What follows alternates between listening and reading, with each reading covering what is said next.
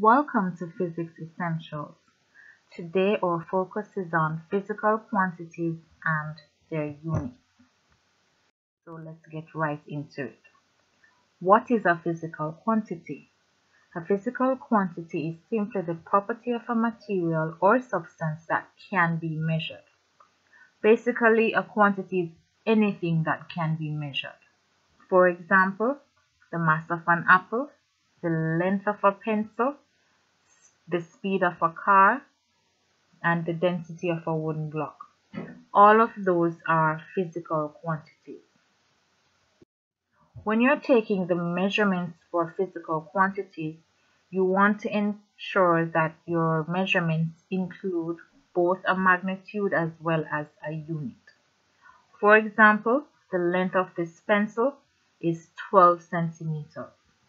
12 would be the magnitude and centimeters of course would be the unit. So now we're going to take a look at units specifically. In physics, we utilize the International System of Units, otherwise known as SI units. Now, what is the International System of Units? This is a system of measurements that has been agreed upon internationally. It means that these set of units are the same and they can be reproduced very accurately around the world. And a unit is simply a standard by which something is measured. For example, the kilogram, meter, a mole, and seconds. Those are SI units for certain quantities that we're going to look at shortly. So there are two main types of physical quantities. We have fundamental quantities and derived quantities. And we're going to look at derived quantities. Now, what is a fundamental quantity? A fundamental quantity is simply a quantity that is independent of other physical quantities. It is also known as a base quantity. But what do we mean when we say that fundamental quantities are independent of other physical quantities? It means that we cannot express fundamental quantities using other physical quantities.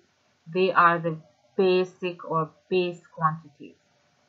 There are seven as shown in this table. So we have length, mass, time, electric current, temperature, amount of substance, and luminous intensity. The SI units are shown also in the table. So the SI unit for length is meter, the SI unit for mass is kilogram, the SI unit for time, seconds, the SI unit for electric current is amperes, and the SI unit for temperature is Kelvin.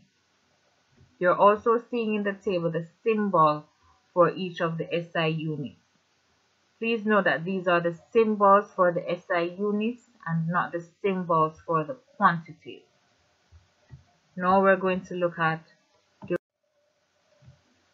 so now we're going to look at derived quantity.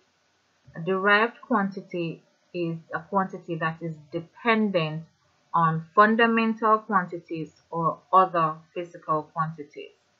So they can be dependent on fundamental quantities or other derived quantities. So the first example we're going to look at is speed. Speed is a derived quantity because it is dependent on distance as well as time. So we can express speed in terms of distance and time. Or we calculate speed in terms of using distance divided by time. Similarly, we have force. So force is another derived quantity because it can be expressed using mass times acceleration. The SI unit for mass is kilograms and the SI unit for acceleration is meters per second squared. And therefore we would get the unit kilogram meters per second squared. So this is the derived unit for force and meters per second would be the derived unit for speed. Please note that these are also the SI units for these derived quantities.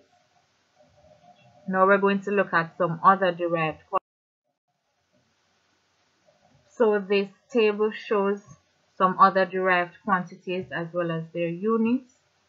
Area is a derived quantity, likewise volume, density, velocity, momentum, acceleration, force, pressure, and energy or work. So these are all derived quantities. There are other derived quantities, but these are the main ones. You're seeing the expression or the formula to calculate these physical quantities. So area is length times breadth or length times width. Volume is area times height. And you're seeing the SI units. For area is meters squared. For volume is meters cubed.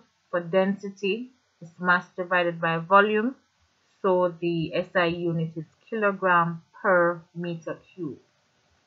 Velocity is calculated using this formula. Displacement divided by time.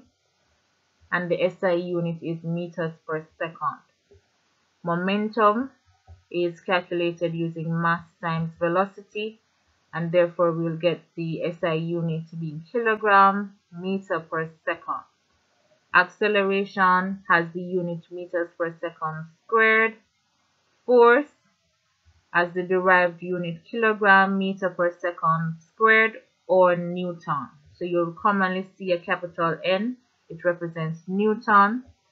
For pressure, is force divided by area, where the SI unit for force is newtons and the SI unit for area is meters squared, so we would get newton per meter squared or Pascal. The unit for energy is newton meter or joules. So you'll more commonly see joules for energy and Pascal for pressure and capital N for Newton. That will be all for today. I hope you guys learned something. So just to recap, there are two types of physical quantities. We have derived quantities and fundamental quantities. Derived quantities, they are dependent on other physical quantities, whilst fundamental quantities are independent of other physical quantities. Thank you so much for watching.